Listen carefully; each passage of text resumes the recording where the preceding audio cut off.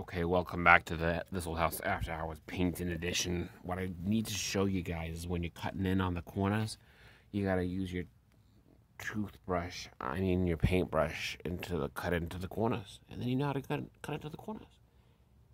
Thanks for watching.